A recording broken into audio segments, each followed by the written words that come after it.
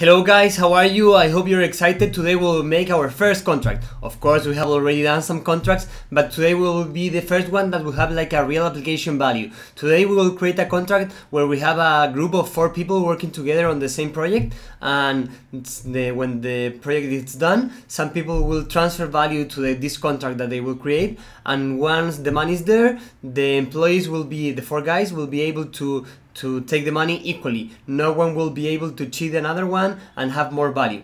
So we'll start with a paycheck contract, pragma solidity, and all this stuff.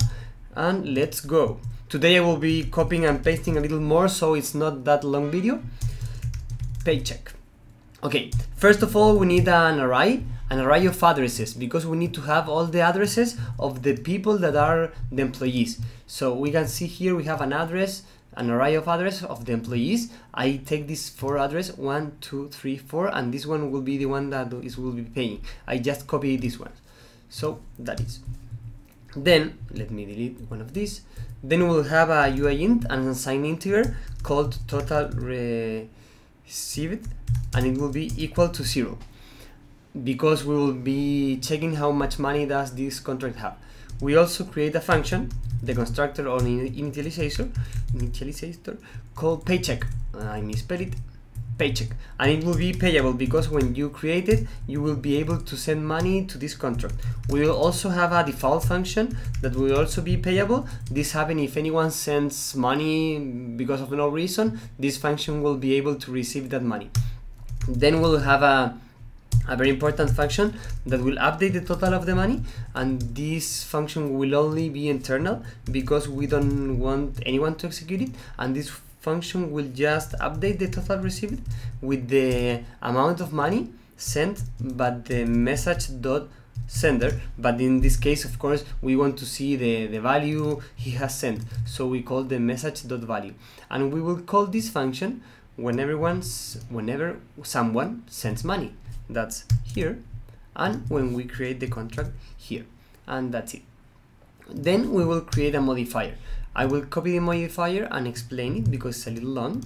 This modifier will call, be called can withdraw and will check the employees. And when someone calls, calls a function that has this modifier we'll check if the employees exist because so we create a bool contains that is false we create a simple for loop from e equals 0 e less than employees dot length e plus plus.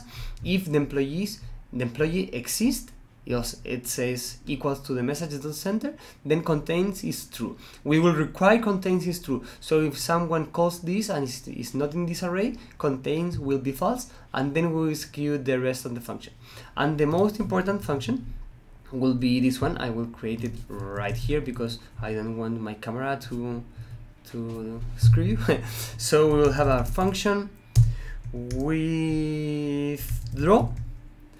and it will be can withdraw we will add this modifier of course.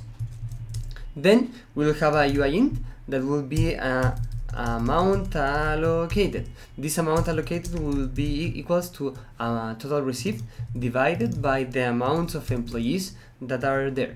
Em employees dot length. Uh, employees dot length. And that's it. Then we will have a, an amount withdraw and for that we need to have something like a dictionary. And this is a mapping is very similar to a dictionary where you have an address that maps to the value of one UI int and we will call this the withdrawn amounts that's the amount of money that the people has withdrawn.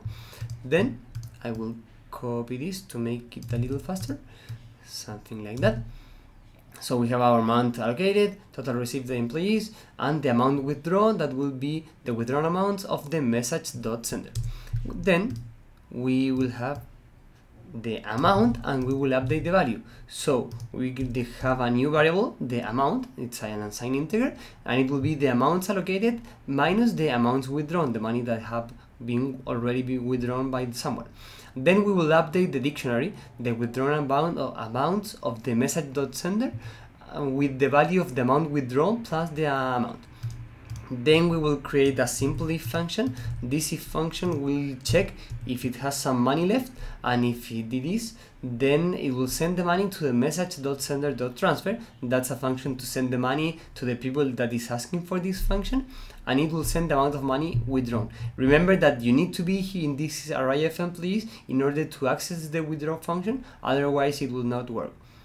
So we are done. We will send a hundred of value create we will go here and we'll press withdraw nothing happens.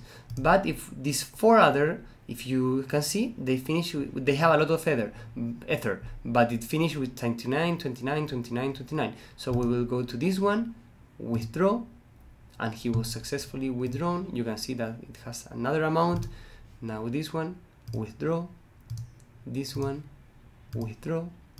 You can see 12 12 12 29 withdraw and that's it. Now we have first uh, created our first smart contract with real life application. Hope you enjoyed we will develop a much more professional contracts in the future but this is to, to have a very basic understanding with all the knowledge we have already been solidifying about solidity. So see you next video. Bye